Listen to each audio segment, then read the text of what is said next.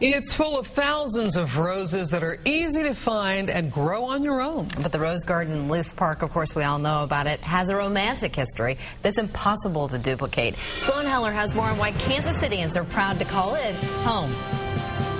From Marilyn Monroe and Elizabeth Taylor to French lace, Buff Beauty, and Easy Does It, the names of these roses alone are enough to stop you dead in your tracks. Then toss in their rich colors, the stone columns, and impressive fountain.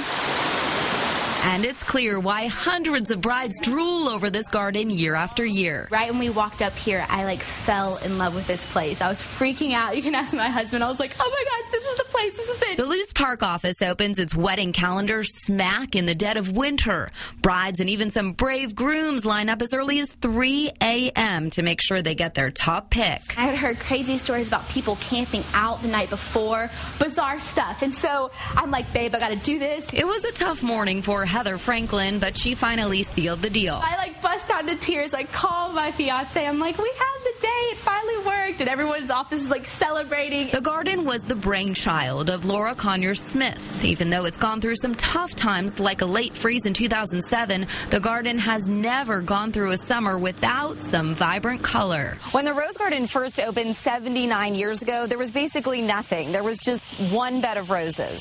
Now, check it out. There are about 3,000 bushes of roses and 150 varieties. Every year, tens of thousands of dollars are spent to keep the garden looking pristine. Volunteers with the KC Rose Society help park employees plant the flowers in March. In late May, the roses bloom, and by Halloween, the stems get covered with a foot of mulch. Last year, the garden went through a $250,000 renovation, which included a new drainage system, walkway, and of course, more roses.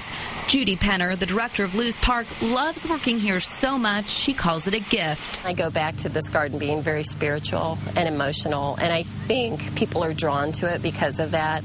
And so when good things happen, like your wedding or anybody's wedding that's out here, I think that it really um, is what should happen in this garden.